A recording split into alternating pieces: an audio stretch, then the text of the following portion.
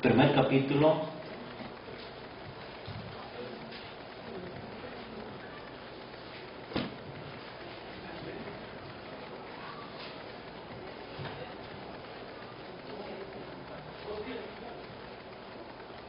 Verso 13 en adelante.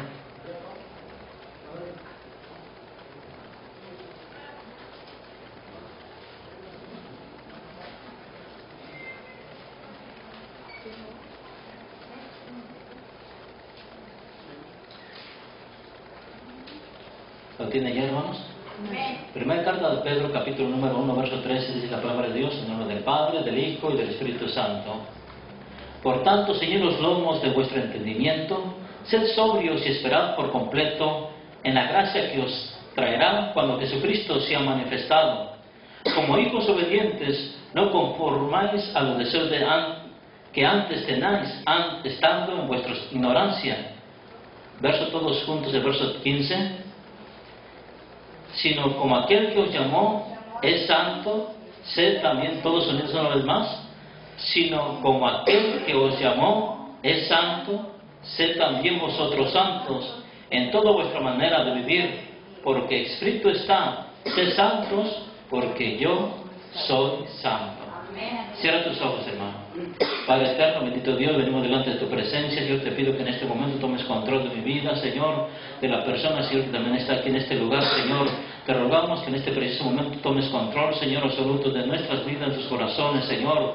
Y para honra y gloria tuya te pedimos y te ruego que en este momento tomes absoluto, Señor, de cada persona que ha venido a este lugar, Señor. Me pido en el nombre santo de Jesús de Nazaret, Señor, que tú nos ayudes a poder llevar tu palabra, tu mensaje, Señor.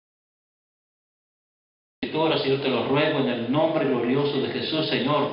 Ayúdame, Señor, que sea de bendición a tu pueblo, Señor, a tus hijos, Señor, te lo suplico en el nombre santo de Jesús de Nazaret, Señor. Úsame, Señor, para que, Señor, tu nombre sea exaltado. De Jesús, amén, Señor, llamen. Pueden tomar asiento, hermanos. El apóstol Pablo, hermano, nos habla sobre un punto importante en el cual vamos a estar tratando en este momento, sobre la santidad. Eh, no vamos a ver qué es la santidad, es en otra ocasión, es un tema muy largo. Si vamos a estar viendo, hermanos, con la ayuda del Espíritu Santo, ¿cuántos conocen el Espíritu Santo? ¿O tienen el bautismo del Espíritu Santo? Pues entonces, con la ayuda del Espíritu Santo, así como estamos cantando en la mañana, hermanos, así que nos movíamos, con la ayuda del Espíritu Santo, debemos todos obedecer al mandamiento que dice, sed santos porque yo soy santo. Ahora, ¿qué quiero decir, hermano, con esto? Nosotros con nuestra fuerza humana no podremos, hermano, hacer, hermano, ni siquiera limpiarnos, ni siquiera quizá ni nuestro cuerpo bien. ¿Me escuchó? Y a veces nuestro cuerpo lo podemos limpiar. ¿Cómo entonces podremos, hermano, limpiar el alma? ¿Cómo podemos limpiar la mente? ¿Cómo podemos limpiar, hermano, todo nuestro ser interior? Pero Dios nos llama a la santidad, porque dice la Biblia, sin santidad nadie verá al Señor.